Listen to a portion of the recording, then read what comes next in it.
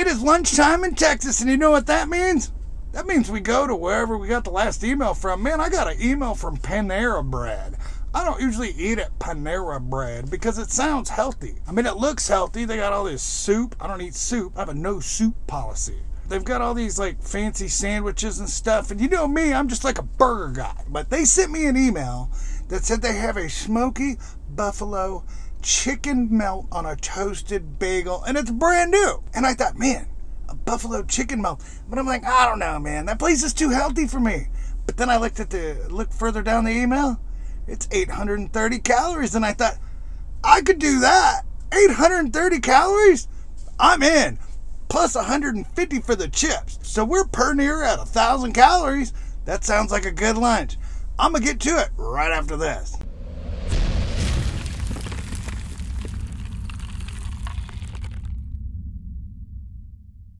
Welcome back to Brick Eats. I'm your host Brian Brickman. That's right, baby. Panera Bread. Panera Bread isn't as healthy as it sounds. 830 calories for a sandwich.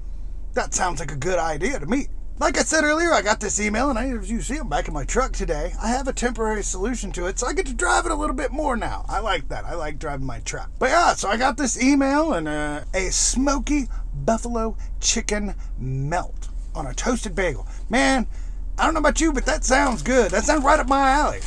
Now I got this thing with their chips. I ordered chips. They gave me two bags. I like that. Two bags of chips. Maybe I ordered two bags of chips. Oh man, the receipt says two chips. Oops. Here's the deal. They're a small bag. Oh, they're good. Oh, they're kettle chips. Oh yeah, look at that. Kettle cooked potato crisp or chips. Oh, they're good. They're like that, that you know that kettle brand? Oh, they're like super crunchy, man. Super crunchy, super salty. Ah, like it. Man, I'm glad I got two though. A little bitty old bag. I must make those little bitty bags for like elementary kids or something. I don't know anybody that eats that few chips. All right, to the sandwich. What we all come to see. I'm glad. This thing is huge, man. Look at this. It is massive. Oh, wow. Ooh. Oh, kick ass. Oh my god, wait till you see this. Look at the size of this thing. Holy smokes. Oh no. Mm. Oh, I just dropped some chicken. Threw it in my mouth. That's actually really good. Good news, I got it on my pants, and I just got them out of the dressers, which means they have to go back in the laundry. So here's what we got. We have this big, giant sand. Oh my god. This thing is really hard to hold. It's cut on both sides. See how it is? See how this side's like drooping? Anyway, this thing has um, smoked pulled chicken, American cheese, red onion, a spicy buffalo sauce, and it's on a toasted French baguette.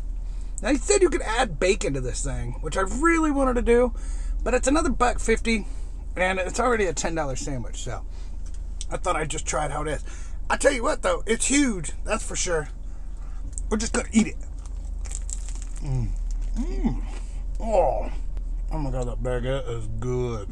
Baguettes are a little harder to eat because the bread. It's got a real. It's got a hard pull to it. You gotta break that crust. But this is. Oh man.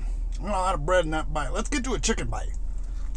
I have a good chicken bite. Man, this thing's got a bunch of chicken on it. Look at it. I mean, just hanging off. That is really good. I mean, the chicken, the chicken's really, uh, it, it does taste a little smoky. It's kind of shredded. See how shredded up and fine it is. I'm gonna, I'm gonna get this bite. This thing's dripping off. I'm gonna, I'm just gonna eat it before it falls. Damn it!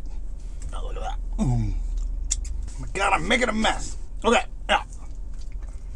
Mm. The sandwich. Mm-mm, mm-hmm.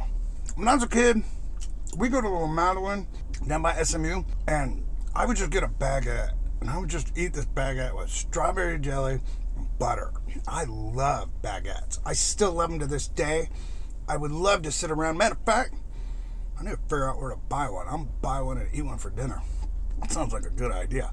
But this is awesome. So I'm a big fan of baguettes. I love that hard pull when you have to really chew through that crust. The chicken is really good. The buffalo sauce is good. I wish there was a little more buffalo sauce. There is a good amount. It's a little spicy. It's not that spicy. Panera bread, man. They're not gonna give you super spicy stuff, right? And there's American cheese on here. I like American cheese. And the red onions. I'm down with the red onions. This thing's actually pretty good, man. They have a kind of a pizza one with like mozzarella and pepperoni or something on it, but I was gonna get them both, but like I said, they're ten bucks. I didn't want to spend twenty dollars at lunch. It's not the best buffalo chicken sandwich I've had, but it's definitely better than average. So, hats off to Panera Bread. I love the bread. Now the bread is the bomb. The bread's worth the whole thing. The chicken, the sandwich itself, eh, it's alright. But the bread, dude, I love the bread. Maybe uh maybe I'll come back and get that uh Italian one with the mozzarella and pepperoni or what I don't even know what's on it. but yeah, maybe maybe maybe I'll do that. There you go. Hey, thanks for Panera Bread for coming out with a grilled baguette sandwich. And uh, um, there you go. And thank you so much for watching this video. Thank you for watching all the way to the end. Hit that next video if you want to watch the next one. And until next time, keep trying Panera Bread's new menu item. And we'll see you